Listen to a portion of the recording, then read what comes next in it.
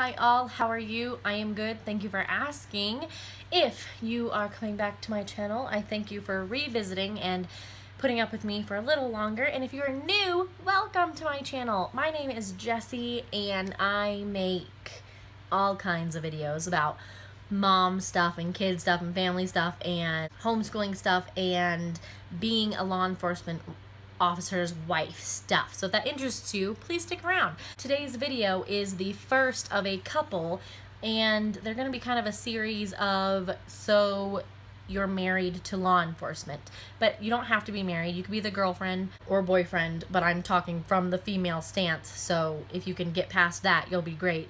You can be the girlfriend, the boyfriend, the husband, the wife, the brother, the sister, the mom, the dad, you know, whatever. Just that someone very close to you my husband, to me, is law enforcement. And I just want to put these out there because maybe you're new to the career, maybe you're marrying into the career, maybe you're already married and they've decided they want to try out for the career, or maybe you are a seasoned wife or significant other or family member and you need some encouragement. Maybe that's it. So from now on, I'm just going to talk as the wife and then you fill in, change it to whatever you are.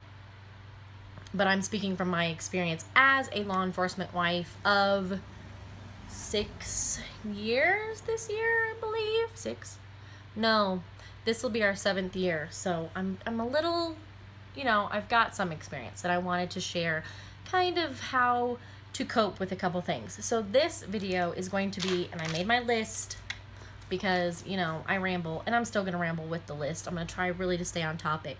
But let's talk about their hours. Law enforcement hours suck.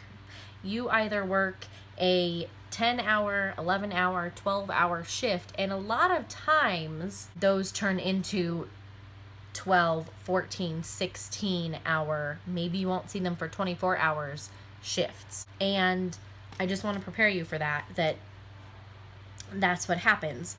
Let's see. Day shift is long. When we worked day shift in our old department, and I'm speaking more of my old our old department because Jon just got off FTO on his new apartment, and I'm not quite seasoned in their um, shifts yet. So I'm talking about when Jon worked for the sheriff's office is what I'm talking about. Um, he worked, they started out as 12 hour shifts and then they went to 11 hour shifts. So he would work 6 a.m. to 5 p.m. or, you know, 5 a.m. to 4 p.m., you know, 11 hour shifts. But if you got a call five minutes before you are supposed to call off, you could be there for another two hours, four hours. You get an arrest, you get a drug bust, you know, whatever. And you're there for that many hours. Also, that can happen on night shift. Night shift is usually from dinner time to early in the morning. And they could be called in they could have a call right at you know like 2.50 when they're supposed to be off at 3 and then you won't see them until 6 or 7 in the morning that's normal and I want to communicate to you that they're not ignoring you or not coming home on purpose. They can't help it. They don't get a choice. When a call for a missing kid or when a call for a wreck or when a call for a domestic violence, somebody's beating on somebody comes in 10 minutes before they're supposed to call off shift, they can't say, "Oh, you got this. I'm I'm I'm out." They can't. It's just it's not they can't do that. And um, most likely the next shift has not come in yet. We went through that a lot where people get there right, right on time. So there's no one there, you know, 10 minutes early to take it. So don't take it personally when they have to work late. Also, don't take it personally when dispatch calls them and asks them to come in because someone called out sick or we need extra hands for this or that that unfortunately is also a sad reality is not every police officer is gung-ho to go to work on their day off so they just won't answer the phone. And then your husband loves serving so he does and he gets called in a lot. That will happen. That is something you guys need to come to agreement compromise on and you know figure it out.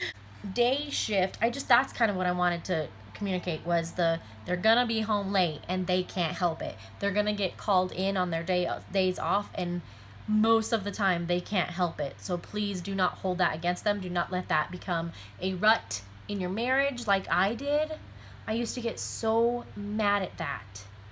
And he can't help it. And so I'm mad at him for something that he can't control and it was just horrible. And I don't know when I finally got over it, but I finally did. And now it's peaceful. Like we have this thing where if he's going to be late, if he can spare two seconds to send me a text, he'll just send me a text late or gonna be late. And then I'm a little bit prepared, but I kind of got used to, you know, not expecting him home. And if they do come home on time, it's a nice surprise. Day shift is long because it's longer than banker's hours. You either either gone before you get up or um, you know they're gone until past dinner time or something like that and you are stuck doing all the kids stuff like i said texting do not take it personally when you text them and they don't text you back within a couple hours or even at all. Some days they are just so busy, especially if you work for like a sheriff's office or a city department, that they're just call after call after call after call. Don't don't he can't help it. And sometimes they don't even have eat time to eat let alone pick up their phone. And if they're around their supervisors a lot and their supervisors don't want them on their phones you don't get to text them and they don't get to text back. Jon was not allowed to text during his training and so i really got used to only texting him once in a while if it was important and then not hearing back from him until he was off and that was normal. Sometimes they can call you for a little chat. Most of the time, I text Jon and say, hey, I need you to talk to the kids. And so he'll call for a couple minutes and kind of be like, please listen to your mother. Don't drive her too crazy. We'll deal with this when I get home, kind of thing. And depending on your department, they might or might not be able to come home for lunch, but that is definitely department based and how far they work. My husband works in a very large county right now, so there will be days when he's very far away from home and won't be able to come home for lunch. So sometimes they can, sometimes they can't. Don't take any of it personally. And remember that if you text them or you call them and you do not get a call back within a couple hours or even at all during the whole day, it doesn't mean that something's wrong. If your significant other, husband, is injured or anything worse than that, you will know within a reasonable amount of time, and it will probably be his superiors that get a hold of you. So don't assume that just because he's not personally answering means something is wrong. Night shift is hard because it's long also. I hate it when it starts right before dinner time because I'm trying to get Jon out the door and I'm trying to get dinner ready and then you have to do bedtime by yourself. I just that's what I don't like about night night shift is dinner time and bedtime by myself. But then once the kids are in bed, I'm like, yeah, because I'm totally a night owl and if Jon's not here to tell me to go to sleep, I won't. And I'll stay up until the wee hours of the morning and then hate myself because I have to get up with the kids and I'm exhausted the next day. So if you're a night owl, night shift might work for you, but uh, it all is also hard because if you work, you might be working opposite schedules and only see each other a couple minutes a day. And you just, when it comes to that, you need to just make, you know, schedule out some time when you're both off that you need to spend with each other and on each other because that is hard to be on opposite schedules would be horrible, I think. And also when it comes to night shift, putting the kids to bed, we have not started any kind of call daddy and say goodnight, text daddy and say goodnight kind of things. They say goodbye when he leaves and then they know mom is in charge, mom is doing dinner, mom is doing bedtime and we'll see daddy tomorrow when he gets up. I just I didn't want to start the habit of sure, daddy gets home at 10. We can all stay up until 10 to see him if that works for you, that's great, but that would drive me crazy because the time between my kids going to bed and Jon coming home is the only time I get of quiet and alone. Also, we don't do the texting daddy or calling daddy because he might be on a call. And if he doesn't text or call back, you now have a child that doesn't understand why daddy's not talking to them. And I just, I didn't want to start those habits. So they say goodbye, they give their hugs and kisses before he leaves for work, and that is the end of it and it makes it so much easier. And then he gets to do bedtime on his nights off. also, if they work night shift, sometimes they can also come home for lunch. Like Jon, when he was working night shift at the sheriff's office, would come home for lunch at about 10 or 11 o'clock at night sometimes. And of course, I'm still up. So I got to see him for a little bit. But again, that depends on your department and that depends on where you live versus where they're working opposite side of the county or something here it is. I kind of touched on this already, but overtime is my last point I have on here. And says pay versus no pay. And pretty much what that means is like our old, our sheriff's office where we work would not pay you overtime. They paid you in comp time, compensation, I guess, time. And what that is, is instead of giving you this time on your paycheck, we're just going to give you this time off, which is nice. But when you have bills to pay, time off does not cover the bills. You need it in the paycheck. And that is all that our sheriff's department did up to a certain amount of hours and then they had to pay you overtime but they really kept you from getting to those overtime hours and you just got comp time all the time get used to please don't hold birthdays and holidays very sacred anymore. At least we don't.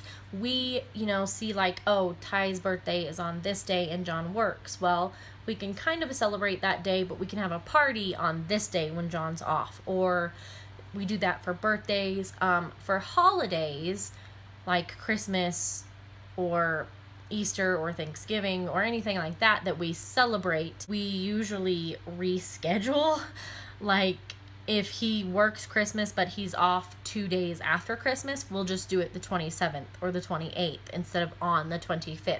And if you can loosen up about that and if you can get your families to loosen up about that, that would be very helpful. I know when we first started out, it was, oh, Jon works on Christmas. Oh, Jon works on Thanksgiving. And it was like, yeah, and I can't help it. It's not like they can ask for it off so we just got used to yes he he's working or uh, you know for kids concerts or soccer games or parent teacher conferences or church events. They're working. There's nothing you can do about it unless it's that important that they have to ask off. And then i suggest you turn in that request for time off as soon as possible.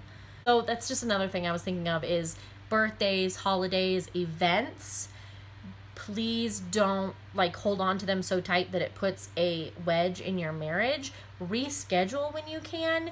Do what you can alone. You can extend birthdays. You can have a week long birthday just to make it work. You can make Christmas last all week, you know. That is how we handle holidays and it's much easier when you can get you and the kids and the extended family on board as soon as possible. That way, no one is negative about it.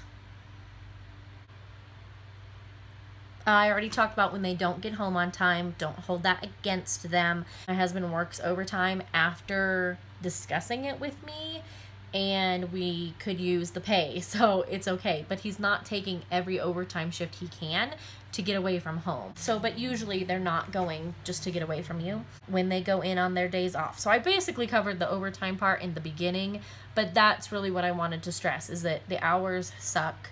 Working late because of a call sucks. Having a 10 hour shift turn into a 14 or 16 hour shift sucks. The overtime pay, depending on your department, sucks. Like it just this career is a very hard one to be married to or to be in a relationship with. So it just it takes a lot of getting used to and a lot of communication. And that is it for this video. I hope I didn't make it too long. I hope I didn't ramble. I tried to stay on point. If you have any more like tidbits about the shifts and the times that I didn't cover, put them down in the comments because I'd love to see what I missed. And also any comments that you have, go ahead.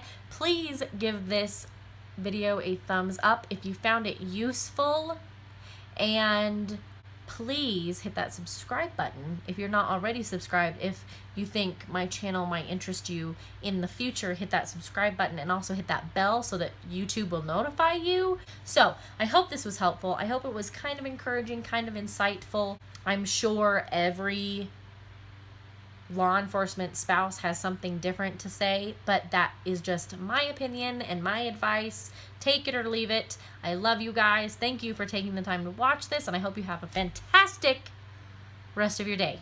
Bye.